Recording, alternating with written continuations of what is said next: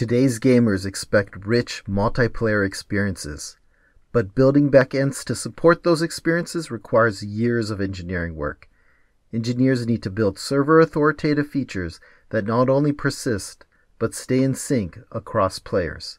Building these systems from the ground up has been extremely costly until now. By using Game Plumbing Framework, engineers can focus on gameplay and leave everything else up to us. We've invented a new paradigm that abstracts away the complexities of building distributed systems. Let's walk through four of Game Plumbing Framework's game changing benefits. 1. We empower you with a new type of object that automatically persists and is kept in sync with UI. We call them server objects. Leverage them to build synchronous, scalable, and secure backends in a fraction of the time.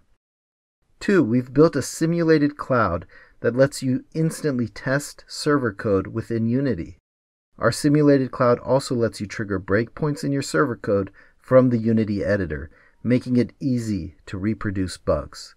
Three, our tracer tool eliminates time spent digging through log files.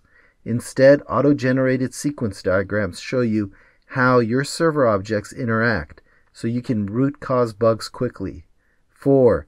Client interaction is handled through an autocomplete interface, so hooking UI up to state is simple and codeless.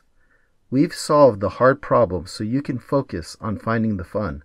Put simply, Game Plumbing Framework is the best way to build server authoritative games in Unity. So if you're building a game that connects players, then build faster and ship sooner with Game Plumbing Framework.